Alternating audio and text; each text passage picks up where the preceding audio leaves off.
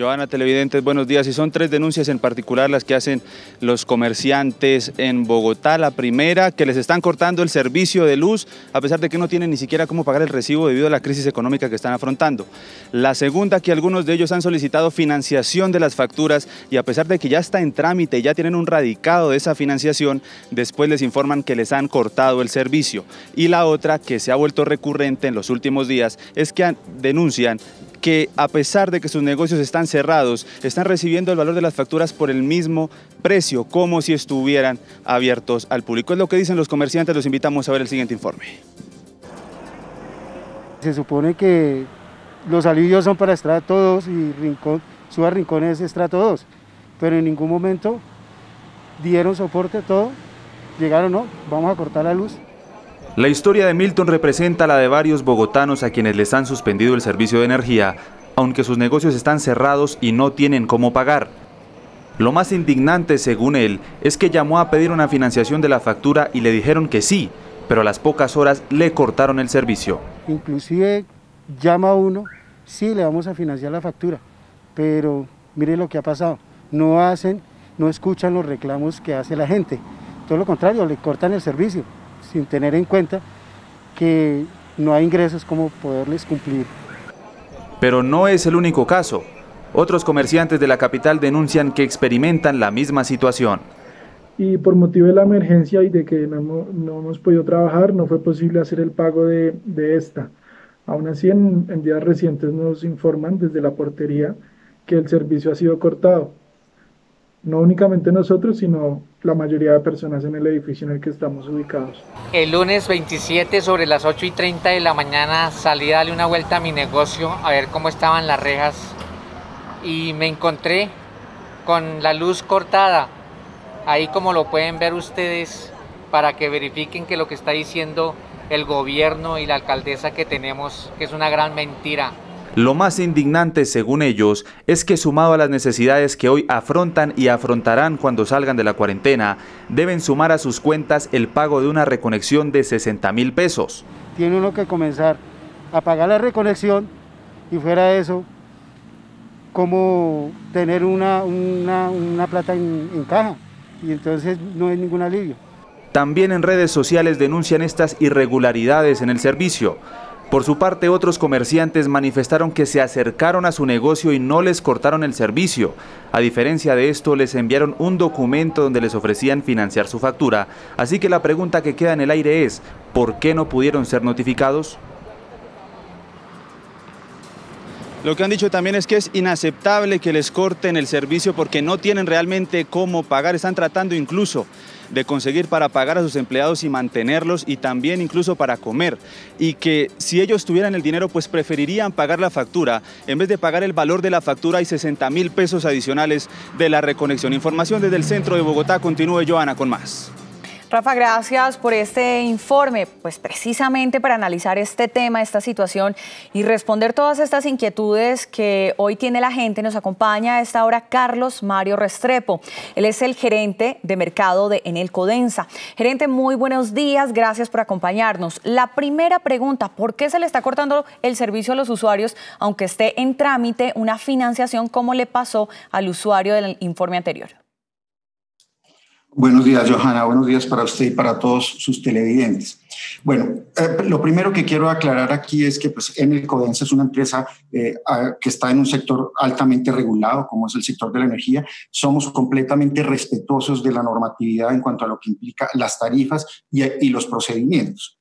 Con respecto al tema de las suspensiones que hablaban, eh, pues hemos dispuesto desde el, día uno de la financiación una cantidad de planes y alternativas a, los cuales la gente puede acceder a través de canales digitales, a través de nuestras líneas telefónicas, que también eh, están dispuestas para atender a los clientes. Con respecto a la suspensión, y aquí es importante tener en cuenta que el plan de alivios del gobierno y que en el cual también estamos comprometidos y venimos cumpliendo, está enfocado específicamente en los sectores residenciales. Para los estratos 1 y 2, un diferimiento a 36 meses, para los estratos 3 y 4, un diferimiento a, a 24 meses.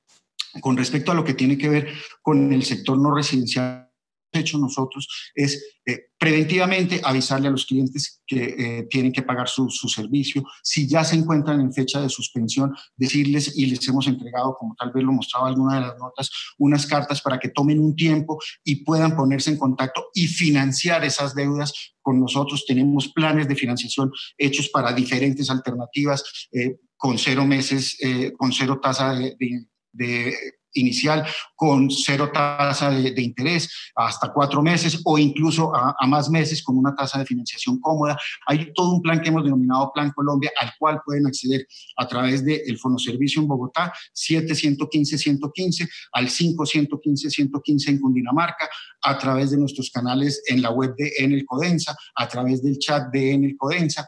Es decir, hay una cantidad o una infinidad de, de formas de hacerlo. Con respecto al caso que usted me dice, tendríamos que revisarlo, porque cuando efectivamente un cliente, y eso es lo que queremos, lo primero que queremos hacer es, ojalá que el cliente que pueda pagar lo pueda hacer. Si definitivamente no lo puede hacer, tenemos toda esta cantidad de, soluciones o de alternativas, como le digo, y que si ya está en, ese, trámite, no va a ser sujeto a ninguna suspensión, porque ya acordó con nosotros la forma en que lo va a pagar y cómo lo, lo, lo definió en el tiempo que, eh, era más conveniente. Entonces, sería, podremos revisar ese caso para ver qué pasó. Debe haber algún inconveniente que no, no es lo, normal. Le, le, comento, en este momento ya tenemos más de 10.000 clientes que han podido acceder a este tipo de financiación en clientes no residenciales, tanto industriales como comerciales de la capital. Entonces, eh, ya existe, digamos, eh, esa posibilidad de hacerlo y los resultados pues lo demuestran ahora. Para este tema, eh, gerente, eh, ¿no les parece de pronto algo injusto, si es la expresión, que aunque la gente tenga estos negocios cerrados, trate de despedir a los empleados, pues tenga ahora que sacar 60 mil pesos adicionales por el costo de la reconexión de un servicio? Eh, bueno, yo creo que aquí es importante, Joana, aclarar que la suspensión del servicio solo se realiza a clientes no residenciales que presentan mora en su pago, a los cuales, como dije antes, antes de llegar a la suspensión, se les han dado todas las eh, alternativas, primero preventivas y luego eh, en el momento para no, para no suspender. Y vuelvo a lo mismo, como es un negocio regulado, nosotros no podemos disponer aquí de hacer o no una cosa distinta a la que está regulada. Como le digo, para los clientes residenciales, el gobierno ha dispuesto una cantidad de medidas que son las que estamos aplicando para los estratos 1, 2, para los estratos 3 y 4 especialmente. Pero en este caso, lo que le ofrecemos a nuestros clientes, vuelvo y soy, y soy eh, reiterativo con esto. Lo primero, tratar de, hacer un uso eficiente de su energía, si es que están pudiendo laborar en ese, en ese, en ese eh, no residencial, llamémoslo industria comercio. Segundo, si, si, si no están consumiendo y no podemos eh, y, no pueden pagar, tratar de, eh, comunicarse con nosotros para buscar un plan de negocios o un plan de financiación que le ayude a hacerlo eh, de la manera en que lo puede hacer. Pero eso es lo que hoy tenemos nosotros, digamos, como posibilidad para este tipo de clientes. Eh, gerente, como principio básico, uno paga lo que consume. Eso eh, lo entendemos. ¿Cómo están midiendo el consumo o cómo se puede explicar que algunos comerciantes denuncien que los locales están cerrados y los recibos llegan con un valor similar, aún, pues por supuesto, con sus negocios o establecimientos sin funcionar? Sí, efectivamente, eh, digamos, por lo que tiene que ver con la ley 142 y algunas resoluciones reglamentarias como la 108 del 97, lo que nos indica es que cuando nosotros podemos acceder a, un em, inmueble, hacemos la lectura y podemos facturar con esa lectura real, que es el ideal en todos los casos. Lo que puede estar ocurriendo en algunos casos, y es menor, también es menor, las estadísticas nos muestran que no estamos llegando a tener mm, cerca de un 4 a un 5% de clientes que no estamos pudiendo leer, o porque está cerrado, o porque efectivamente el cliente no, no deja ingresar. Eh, ¿Qué ocurre ahí? Se promedia y se promedia con los últimos seis meses. En este caso, casos en los clientes, en los cuales los clientes dicen, hombre, pues yo no estoy funcionando y me está cobrando el promedio de los seis meses. Eso es lo que por ley tenemos que hacer.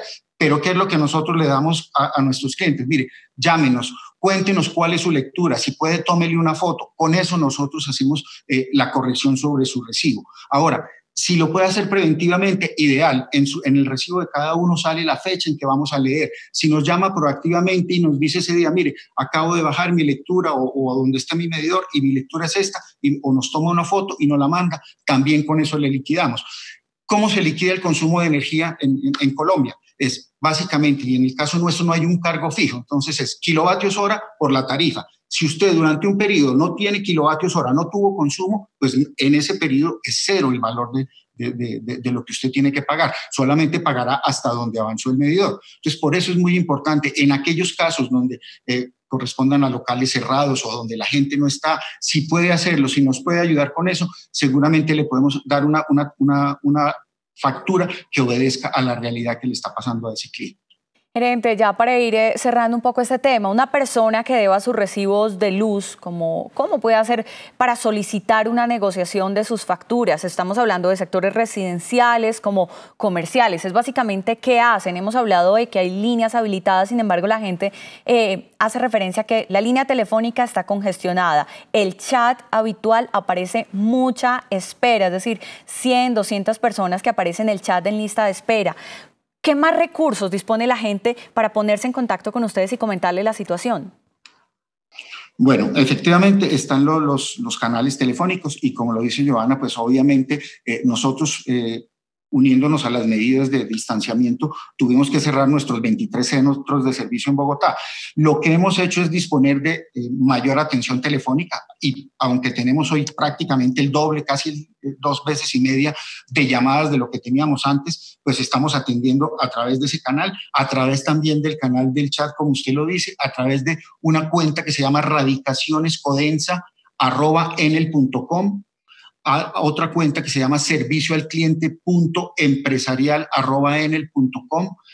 que es específica para aquellos clientes no, no residenciales y también a través de nuestra app, la aplicación que se puede bajar en Android o en, eh, en la tienda de iPhone que se llama En el Codensa. Ahí también pueden hacer todo este tipo de, eh, de propuestas para, para poder eh, acceder a las líneas de financiación. Reiteramos que lo importante, ojalá si puede pagar, pagar. Si no puede pagar, comuníquese con nosotros y buscamos la mejor manera de hacerlo. Si no hemos podido leer, acceder a su lectura, también llámenos y cuéntenos, denos su lectura.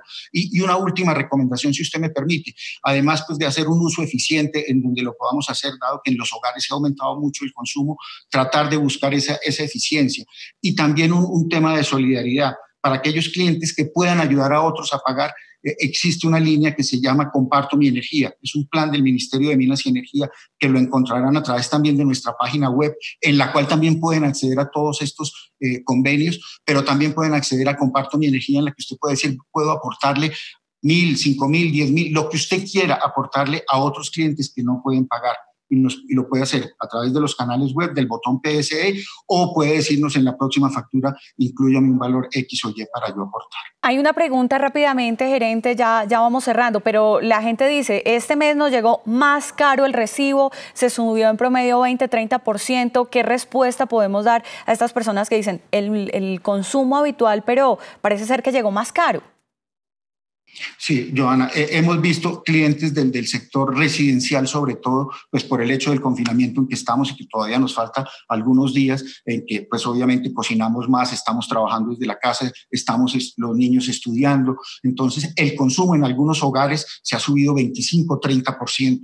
Aquí hago ese llamado del uso eficiente de la energía porque es necesario tratar de controlar al máximo, no desperdiciar la energía. Obviamente tenemos que usarla pues, para, para todo esto que estaba diciendo, pero eso es cierto y lo hemos visto en muchos hogares. A partir del día de ayer ya se están empezando a, repartir en Bogotá, en los clientes residenciales, los, las primeras cuentas ya con los alivios decretados por el, el gobierno para los meses de abril y mayo que implica en los estratos 1 y 2 eh, diferir a 36 meses a aquellos clientes que no pagaron, otorgarle a aquellos clientes que pagan a tiempo un 10% de descuento que es una medida bastante importante y que la están tomando muchos de estos clientes. Y para los estratos 3 y 4, para aquellos que no pagaron, diferirles a 24 meses el, el, el consumo de abril y de mayo.